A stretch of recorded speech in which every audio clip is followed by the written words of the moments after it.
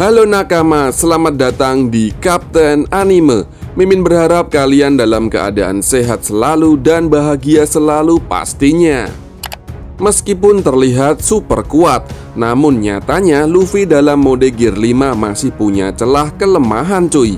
Gear 5 memang salah satu senjata paling andalan Luffy dalam petualangan One Piece, tapi ada titik lemah di balik kehebatannya. Saat Luffy menghadapi Kaido di puncak pertarungan Ars Wano, penampilan awakening dari buah iblis Luffy justru bikin dia keder. Meskipun Gear 5 punya daya hancur yang dahsyat, namun tetap ada beberapa kelemahan yang harus diwaspadai cuy. Nah, apa saja sih kelemahan Gear 5 itu? Yuk simak videonya cuy. Yang pertama, lama penggunaan gear menjadi berkurang. Seperti yang terlihat dalam pertarungan di Onigashima, Luffy menunjukkan daya tahan tubuh yang luar biasa cuy. Sebelumnya Luffy menggunakan gear 4 yang hanya bisa bertahan selama sekitar 10 menit Namun saat menggunakan gear 5, ia hanya mampu melakukan dalam waktu yang sangat singkat sebelum kehabisan tenaganya cuy dalam duel melawan Rob Lucy, Luffy menggunakan gear 5 dalam waktu yang lebih lama dibandingkan saat melawan Kaido. Mungkin karena Luffy langsung menggunakan gear tersebut sejak awal pertarungan dan energinya masih penuh cuy. Namun ada kemungkinan bahwa penggunaan gear Luffy secara berlebihan akan mengurangi durasinya. Hal ini disebabkan oleh penggunaan energi yang sangat besar. Dalam pertarungan melawan Kizaru, Luffy menggunakan gear 5 untuk sementara waktu. Tujuannya adalah untuk menjaga jarak antara Kizaru dan Vegapunk Durasi penggunaan Gear 5 kali ini lebih singkat jika dibandingkan dengan saat melawan Rob Lucy. Yang menarik, sebelum pertarungan dimulai, Luffy sempat makan terlebih dahulu cuy. Yang kedua, menguras habis energi. Salah satu kelemahan yang paling jelas dari Gear 5 adalah bahwa itu membutuhkan stamina yang cukup besar cuy Yang membuat Luffy kehabisan energi dengan cepat seperti yang pernah Trafalgar Law dan Eustace sampaikan saat mereka menggunakan kekuatan baru awak kening dari buah iblis mereka Awak kening benar-benar menguras tenaga dan stamina mereka cuy. Pada kasus Luffy, bukti ini terlihat pada chapter 1045 yang lalu. Setelah menggunakan kekuatan Gear 5 dalam waktu yang cukup lama Luffy terlihat sangat lelah Wajahnya berubah dan ia tampak sangat lemas cuy hampir seperti orang yang sedang berjuang dengan kematian. Setelah menggunakan Gear 5, tenaga Luffy terlihat habis dan ia sendiri mengakui bahwa Gear 5 benar-benar memeras semua energinya dan staminanya cuy. Kondisi yang sama terjadi setelah pertarungan melawan Rob Lucci dan Admiral Kizaru di mana Luffy terlihat lelah dan berubah menjadi orang tua. Selain istirahat, suara genderang kebebasan juga berfungsi untuk mengembalikan kekuatan Luffy. Hal ini sudah terlihat saat melawan Kaido sebelumnya. Namun saat menghadapi Rob Lucy dan Kizaru, istirahat tampaknya menjadi cara untuk mengembalikan stamina Luffy. Yang ketiga, berpotensi memunculkan penyakit. Goldie Roger adalah tokoh yang terkenal sebagai raja bajak laut dalam cerita One Piece sebelum akhirnya ia memilih untuk menyerah kepada angkatan laut. Ia membuat keputusan tersebut karena selain berhasil menemukan One Piece, ia juga menderita penyakit yang tidak bisa disembuhkan cuy. Kemungkinan hal serupa juga akan terjadi kepada Luffy di akhir cerita atau di masa depannya. Roger dan Luffy memiliki perbedaan terutama dalam hal mereka menjadi pemakan buah iblis. Meskipun demikian, ada banyak kesamaan antara keduanya yang bisa berpotensi menimbulkan efek negatif kepada Luffy. Dalam kasus Luffy, penyakit yang mungkin dia alami bisa disebabkan oleh penggunaan Gear 5 dalam jangka yang panjang. Terlebih lagi, Luffy telah mengalami banyak kejadian buruk sebelumnya cuy Seperti terkena racun dari Magellan tidak diketahui penyakit apa yang akan diderita oleh Luffy di masa depan. Namun ada kemungkinan bahwa Luffy bisa terkena penyakit yang mirip dengan kanker di dunia nyata.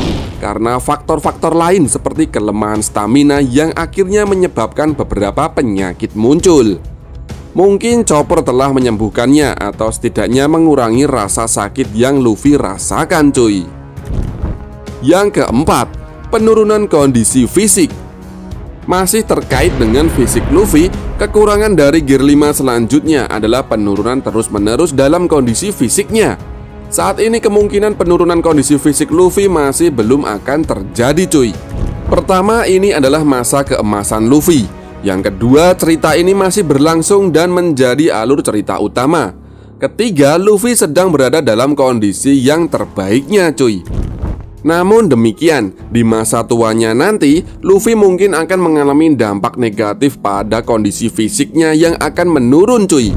Seperti yang terungkap dalam ceritanya, tokoh-tokoh seperti Garp, Rayleigh, dan Whitebird yang sudah tua juga mengalami penurunan kesehatan. Kondisi ini tentunya dipengaruhi oleh apa yang terjadi sebelumnya cuy. Kemungkinan besar Luffy akan menghadapi banyak kesulitan jika dia terus menggunakan Gear 5 miliknya kita bisa mencermati apa yang terjadi pada Whitebird di mana penyakit yang dialaminya mungkin disebabkan oleh penggunaan gura-gura nomi yang berlebihan.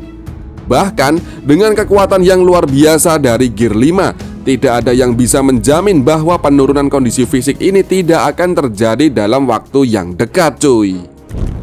Yang kelima, kepribadian Luffy menghilang. Kelemahan utama dari Gear 5 dan buah iblis Zoan yang telah terbangun adalah kehilangan identitas dan semangat dalam diri mereka.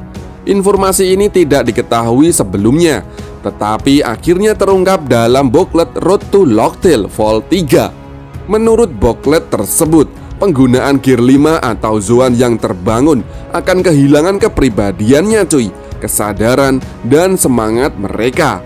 Efek yang timbul dari proses awakening ternyata dapat mempengaruhi jiwa dan kepribadian pengguna buah iblis tersebut. Dikatakan bahwa meskipun tubuh mereka menjadi kuat dan luar biasa, kepribadian mereka justru menjadi lemah dan bahkan hilang sama sekali. Dengan kata lain, pengguna akan kehilangan kesadaran dan kendali atas tubuh mereka, cuy. Selain itu, perilaku mereka juga akan berubah secara signifikan. Ada beberapa kemungkinan jawaban mengapa Luffy mengalami perubahan yang signifikan setelah membangkitkan kekuatan dari buah iblis Nika miliknya. Setelah memperoleh kekuatan tersebut, Luffy menjadi sosok yang ceria, penuh tawa, dan sepertinya tidak memiliki beban hidup cuy. Hal ini juga terlihat lebih jelas pada Kaido, di mana dia memiliki berbagai kepribadian yang berbeda saat mabuk. Selain faktor mabuk, bisa jadi efek awakening dari kekuatan buah iblis juga berperan dalam perubahan ini cuy. Yang keenam, mengurangi usia. Ini adalah dampak negatif yang paling besar dan kelemahan terbesar dari Gear 5 milik Luffy. Dengan menggunakan berbagai teknik gear sebelumnya, terutama Gear 2 dan Gear 4 Usia Luffy semakin pendek secara perlahan cuy Pada saat di Enies Lobby Luci pernah membicarakan tentang penggunaan Gear 2 Dia menjelaskan bahwa penggunaan Gear 2 berarti memaksakan jantungnya bekerja lebih keras Yang pada akhirnya meningkatkan resiko kematiannya cuy. Selain itu, penggunaan Gear 2 juga sangat menguras energi Luffy. Semua hal ini dapat dilihat dari kejadian di chapter 1045 yang lalu setelah mengandalkan kekuatan Gear 5 dalam waktu yang cukup lama, terlihat jelas bahwa Luffy sangat kelelahan. Di chapter 1071, Luffy sekali lagi menunjukkan kelelahannya setelah melawan Rob Lucci. Tidaklah mengherankan jika penggunaan Gear 5 serta akumulasi dari tindakan-tindakan sebelumnya dapat berakibat fatal bagi Luffy cuy. Oke, seperti itulah pembahasannya. Bagaimana menurut Nakama? Jika nakama semua memiliki pendapat lain, silahkan tinggalkan komentar di bawah ini cuy. Oke, terima kasih. Ciao